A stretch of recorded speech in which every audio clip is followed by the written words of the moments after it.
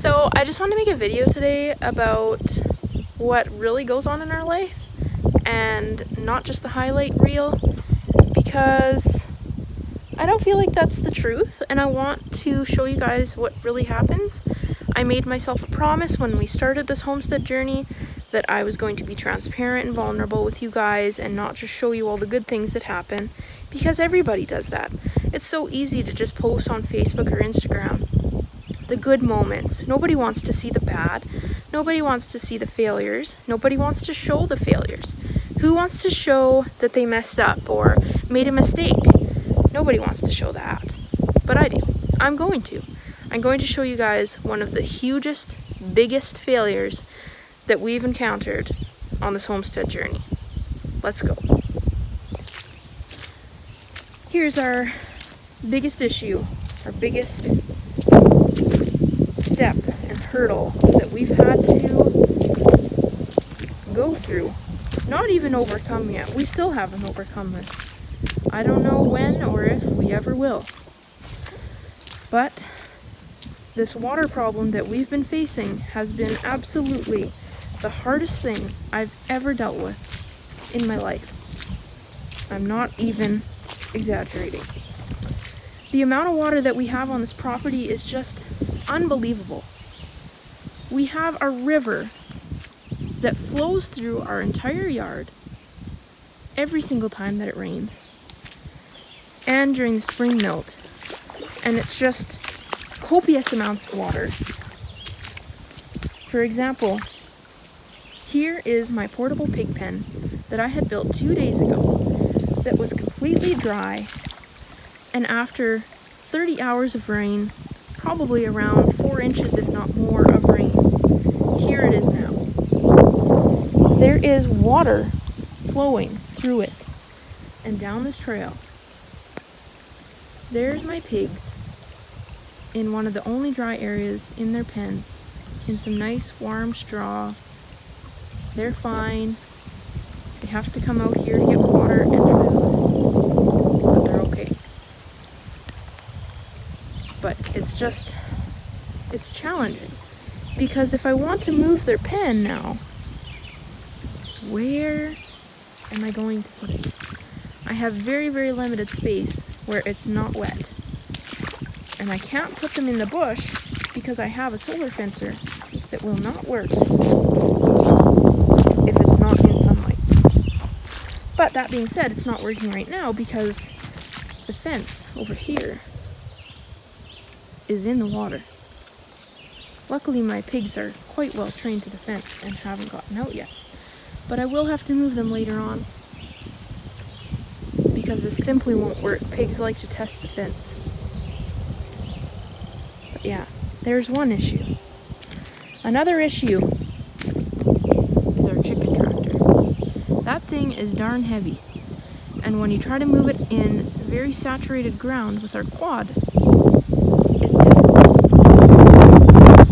And you can't move it fast and you can't move it far because those chickens don't move when you move it. There has to be another person in there while it's moving to keep pushing the chickens up so that they don't get squished underneath. We have lost a lot of birds to that problem, let alone the water that gets in there.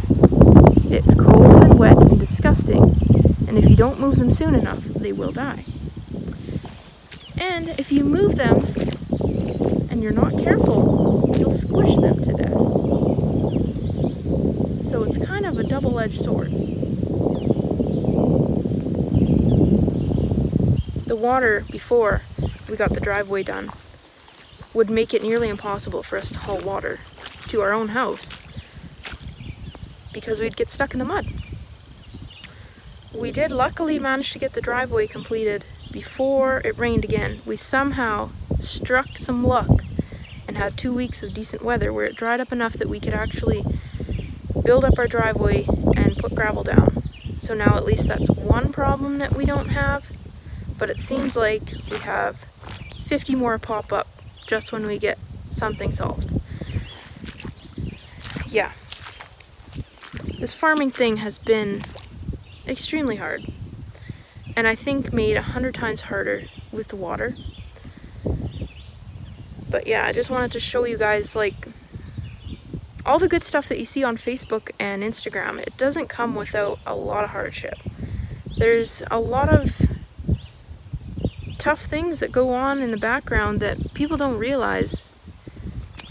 You know, like just for you to get pork on your plate from a small farmer or chicken is just so much work.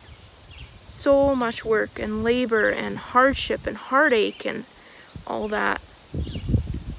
There's a lot more to it than just seeing this cute little pig and then you have a pork chop on your plate. It's just, it's not the case. And the thing is, is that the farmer never reaps the benefit of their hard work, you know? Farmer never gets paid for their time. They don't. It's the truth. That's the truth of farming. All your hard work and time you put into this, you don't get paid for that. You get paid for the costs that go into raising the animal. If you're lucky, you might break even. But to make a profit in farming is the most challenging thing that there probably is. It's very hard. And I wanted to just show you guys that, you know, you have to get very creative, very imaginative, be extremely determined and committed to this to make any sort of money at it. It's so hard. And people don't realize that. At least in my, my eyes. I've never met someone that truly realizes the extent to which it takes to raise animals. Unless you're a farmer yourself. But, yeah. So, if you're thinking of getting into the homesteading journey, I encourage you. Don't get me wrong. This has been my dream for years, and I'm super thrilled to be living it. But it is not without failure. It is not without hardships. It's not without difficulties. There are positives in every day.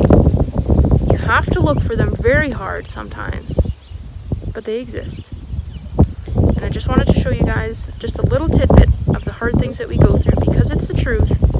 It doesn't even scratch the surface, but hopefully you have a little bit of an idea of what we go through on a daily basis. Thanks for tuning in. Pray for sunshine.